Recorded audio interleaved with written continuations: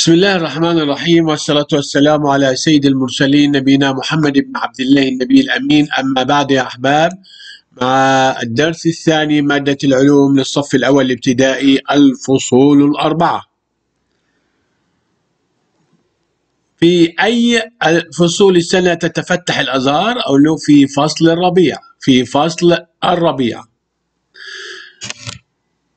كيف تدفئنا الملابس. لو أتيت بزجاجتين ووضعت فيهما ماء ماء ساخن ثم بعد عشر دقائق نقيس درجة الحرارة في الإناء المكشوف والإناء الذي عليه قماشة سميكة.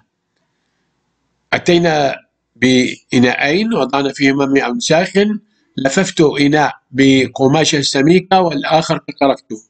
أيهما سيبرد أولا؟ الذي سيبرد أولا المكشوف. إذا القماشة السميكة حافظت على دفء الإناء الثاني. هذا هو ما يحدث لنا إذا ارتدينا المعطف في الشتاء في الطقس البارد. كيف يشبه لف قطعة القماش حول الوعاء ارتداء المعطف خلال الطقس البارد؟ أقول له يحافظ على درجة الحرارة. المعطب بيحافظ على درجة الإيه؟ الحرارة في جسمنا. كذلك القماشة حافظت على درجة الحرارة. هما الاثنين شبه بعض إنهم حافظوا على درجة الحرارة. ماذا يحدث في الربيع؟ أول حاجة لابد أن نتعرف على المفردات. الفصل. الفصل هو جزء من السنة. أربع شهور تقريبا. الربيع الصيف الخريف الشتاء. هم أربع فصول. كل فصل ثلاث شهور. ثلاث شهور. لأن ثلاثة في أربعة ب 12 يبقى الفصل جزء من السنة ثلاثة شهور تقريبا. ثلاثة شهور تقريبا. هذا معنى الفصل. وهنعرف بقى يعني إيه ربيع وصيف وخريف. في السنة أربعة فصول هي الربيع والصيف والخريف والشتاء. الربيع الصيف الخريف الشتاء. الربيع يكون الطقس مشمسا ساعات طويلة. ويكون الجو دافئا. وتنمو النباتات التي توفر طعاما للكثير من الحيوانات. في الربيع تبدأ أزهار النبات في الزهور بيقول لي ما مظاهر الربيع في بلدي تبدأ الأزهار في الازدهار وتلد كثير من الحيوانات. تبدأ النباتات في الازدهار وتلد كثير من الحيوانات. ماذا يحدث في الصيف؟ يأتي الصيف بعد الربيع وهو أشد الفصول حرارة. والطقس فيه جاف ومشمس ساعات أطول من فصل الربيع. يبقى الصيف حار جاف مشمس ساعات أطول من الربيع. يفضل يفضل الإكثار من شرب السوائل في فصل الصيف. يفضل الإكثار من شرب السوائل في فصل الصيف لتعوض العرق الذي نفقده أثناء درجة الحرارة العالية. نعوده بسوائل والعصير الطبيعي أفضل من العصير الصناعي لأن العصير الطبيعي ليس فيه مواد حافظة ولا يضر جسم الإنسان. كثير من النباتات تثمر في فصل الصيف ويتوافر للإنسان غذاء كثير.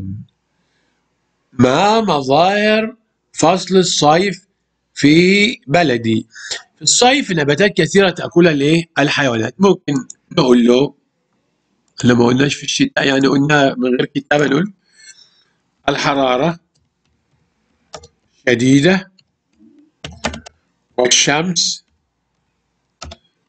مشرقة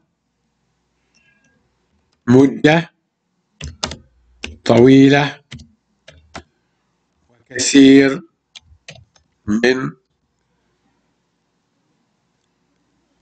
الغذاء يتوفر. تثمر النباتات.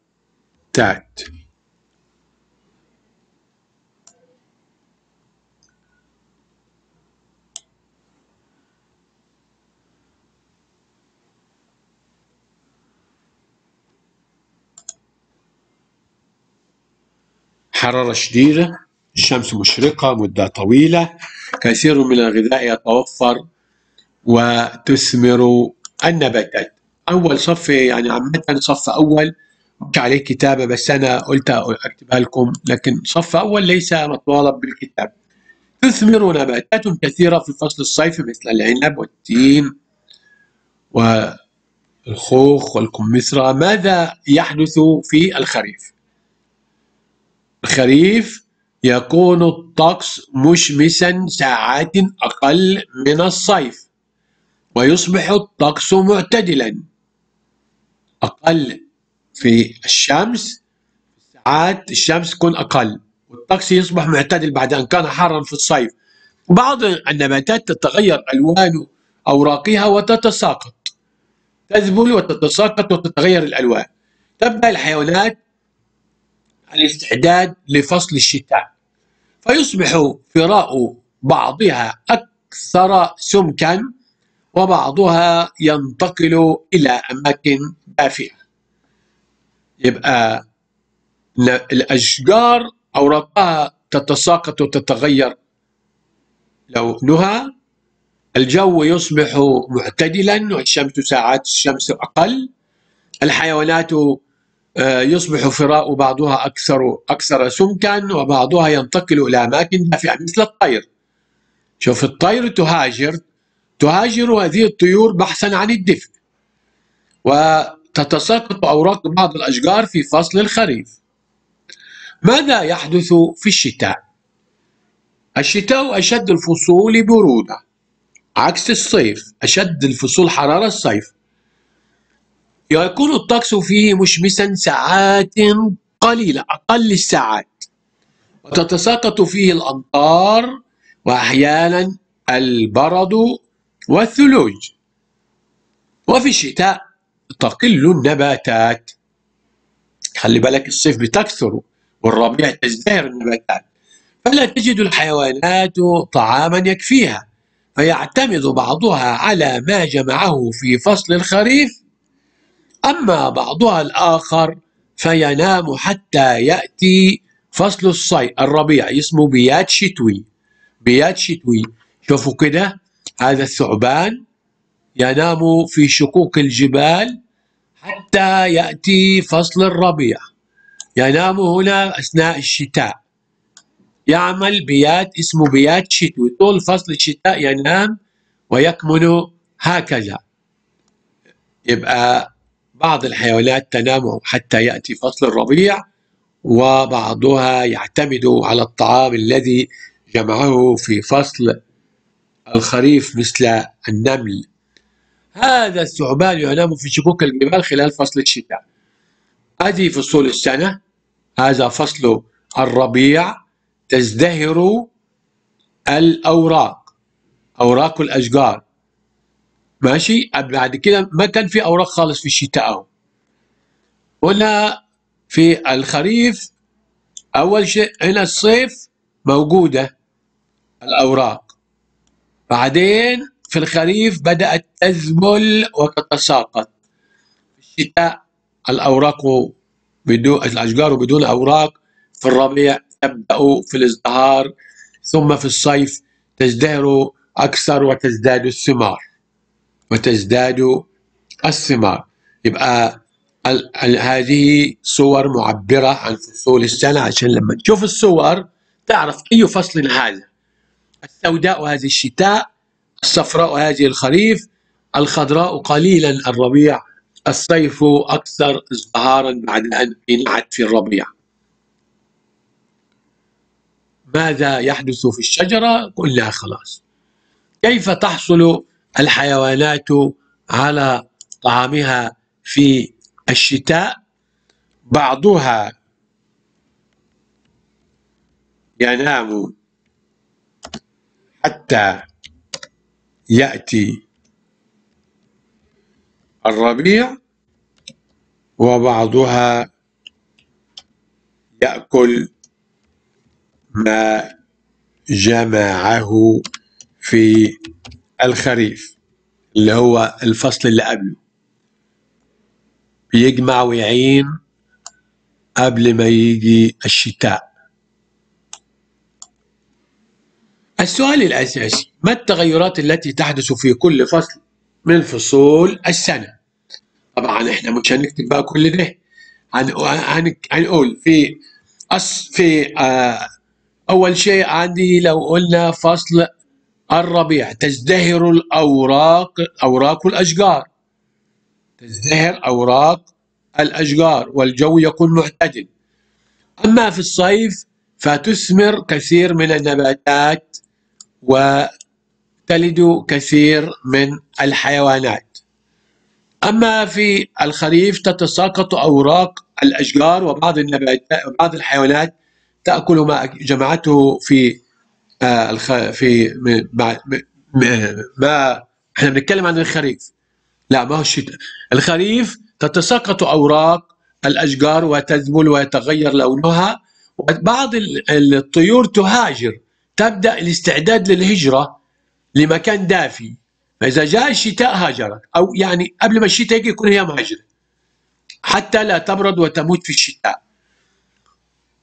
يبقى الثاني الخريف الطيور تهاجر لمكان دافئ الجو بيكون معتدل الأوراق تذبل وبعضها يتساقط. أما في الشتاء الحيوانات بعضها ينام وبعضها يعتمد على ما جمعه من طعام في فصل الخريف ويكون الجو بارد جدا وتسقط الأمطار وبعض أحيان يسقط البرد والثلج. وساعات الشمس تكون قليلة والحرارة منخفضة. أما في الصيف يكون الجو حار جدا الثمار كثيرة تلد الحيوانات الربيع تزهر الأشجار وتخضر أوراقها ويكون أيضا الجو معتدل. خلاص كده؟ أصف أشياء مختلفة يقوم بها الناس في بلدي في كل فصل من فصول السنة مثلا في الربيع الناس تخرج إلى البر لأن الجو يكون معتدل. في الصيف يذهبون إلى الشواطئ لأن الشواطئ تكون معتدلة. في الشتاء يذهبون إلى المولات المغلقة لأن الجو يكون بارد ويرتدون المعاطف والملابس والملابس الثقيلة. في الخريف يعودون إلى البر لأن الجو يكون معتدلا.